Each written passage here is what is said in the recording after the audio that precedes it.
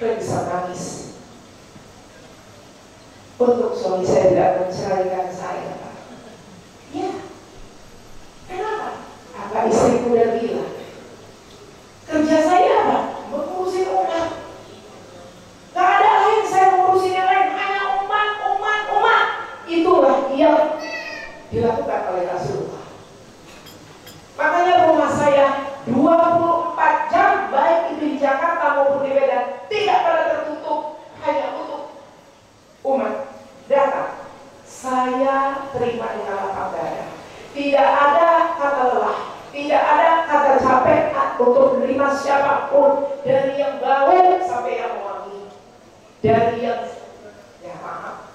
tempel yang di atas sampai yang di bawah.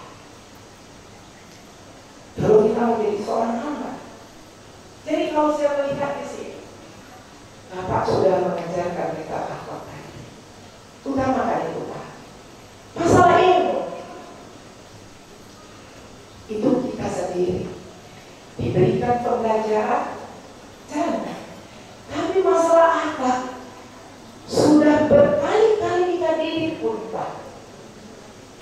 apa untuk menjadi makhluk yang lain? Ini yang saya punya cita-cita. Ya, saya punya cita-cita ditanya orang, kenapa Bunda Ilham mau bisa kami dana sendiri membantu Pak Prabowo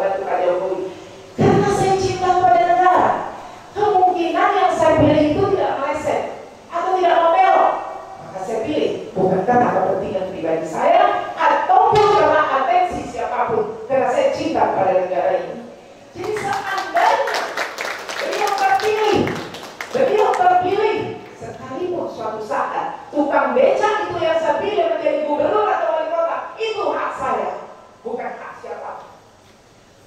Kalau sudah bicara pemasakan atau bicara uang karena pilihan, itu namanya pembohong.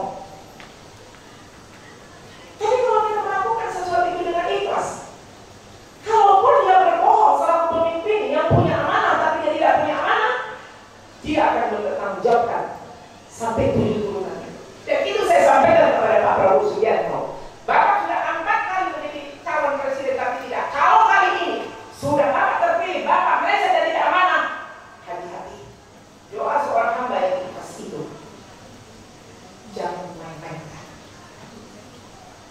Dios.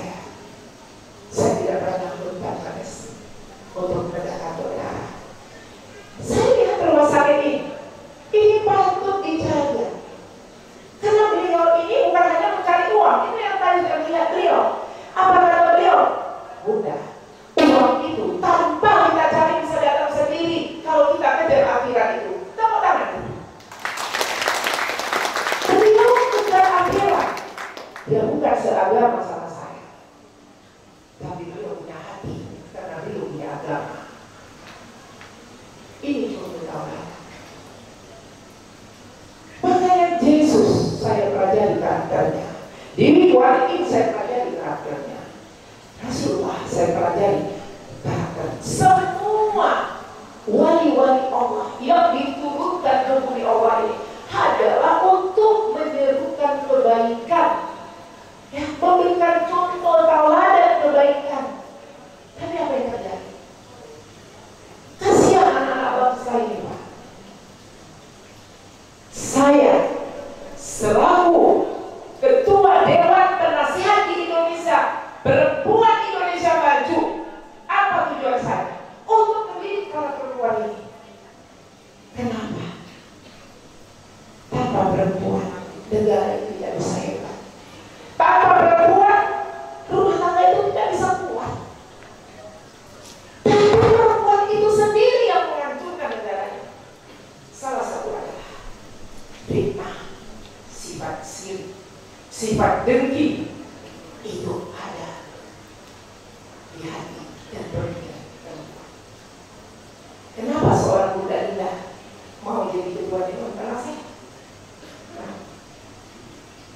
bebas saya.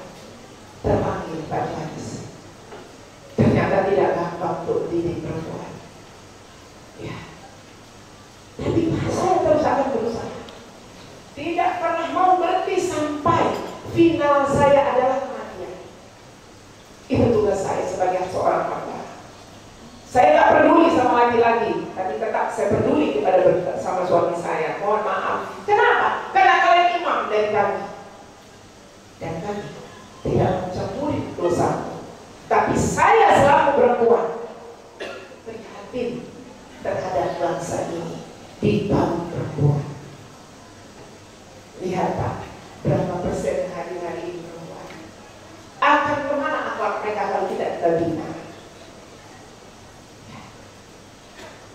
ini yang saya kadang-kadang sedih.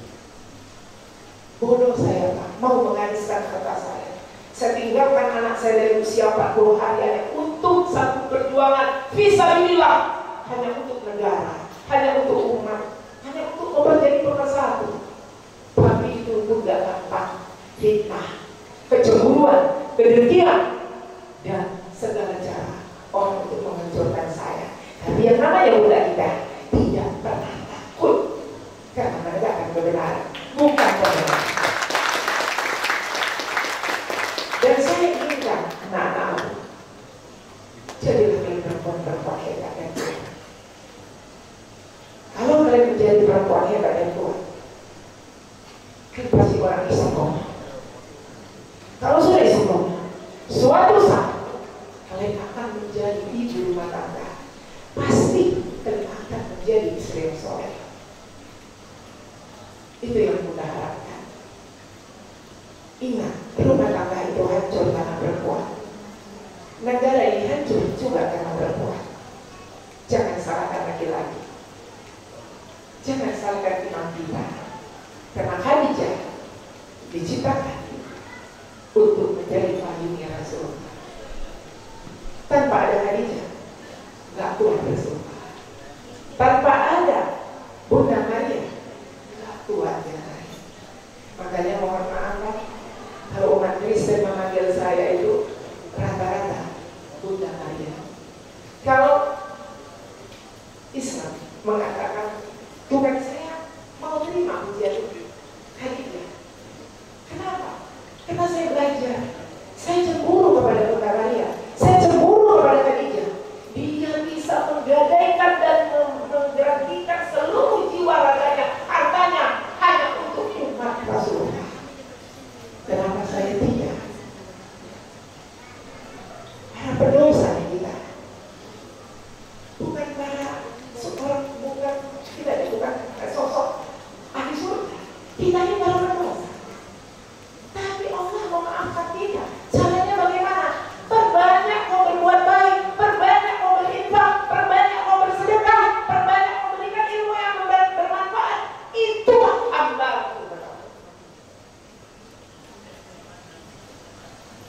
Pada yang lihat saya adalah Coba tanya dengan majelis saya Saya nggak pernah lelah Lelah saya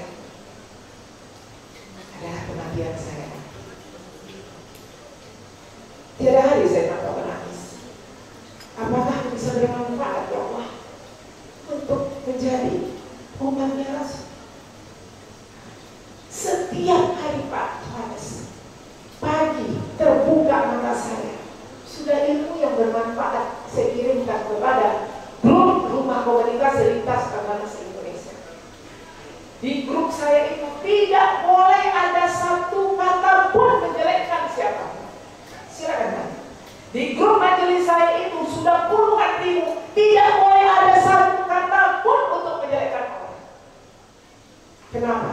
Sekali peluang itu saya berikan, itu akan terus peluang itu akan datang untuk saling hujat menghujat. Tapi ini coba jangan dilakukan oleh yang Makanya mohon izin Pak Johannes, kalau saya sudah masuk di dalam lingkaran ini, saya punya kata mati yang bisa dibohongi.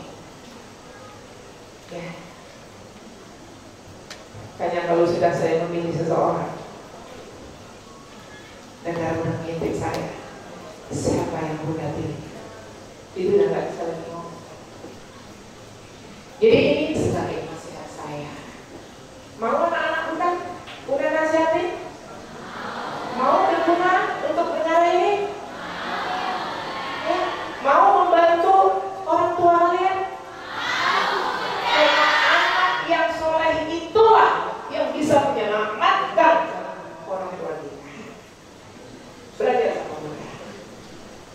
Kemudian biarpun orang tua Bunda sudah meninggal, Majelis Talim Halimah di Indonesia itu Bunda bentuk adalah ibu saya.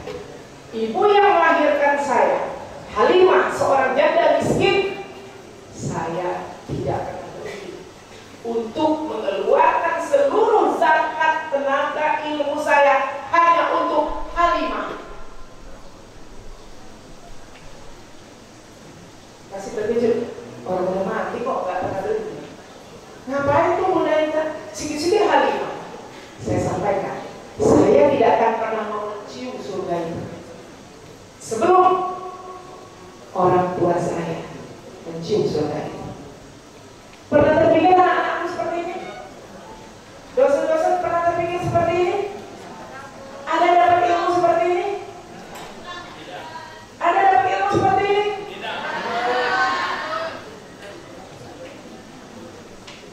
Nanti kapan-kapan bukan saya bertausiah.